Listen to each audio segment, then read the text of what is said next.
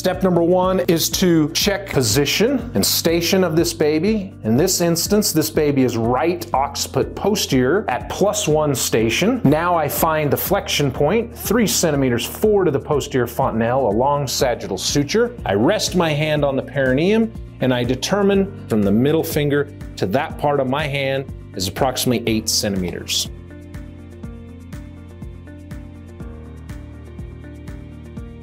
Step number two is to hold and insert the cup.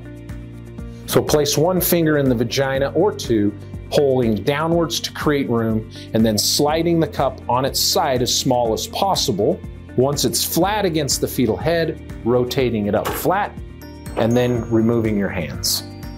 In step two, when placing the cup, the easiest way of keeping track of the groove is to place one's thumb on the top of the groove. When the cup is inserted into the vagina, the groove goes in at 9 o'clock, and then as the elbow is rotated upwards, the groove is naturally placed at 12 o'clock.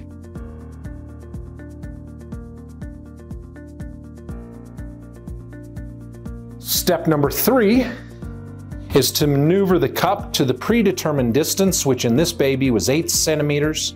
So I insert two index fingers, the superior hand holding tissue up and out of the way, the inferior hand right up on top of the edge of the cup and pushing downwards. As I push down, you can see the stem shortening. I'm now at the six centimeter mark and I continue to push. There's seven centimeters and there's eight centimeters. I hold or stabilize the cup with my superior hand and I use my other hand to establish vacuum.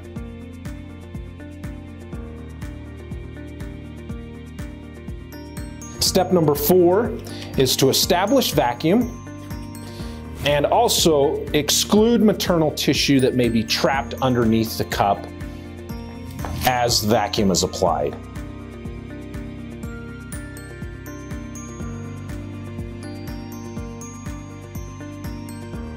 Step number five is to place the thumb on the cup and the index finger on the baby's head to prevent that cup from coming off and providing counter traction during our pulling efforts.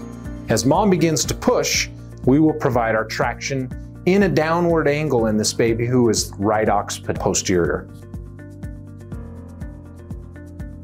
As the baby gets further and further down in the pelvis, notice the direction of pull changes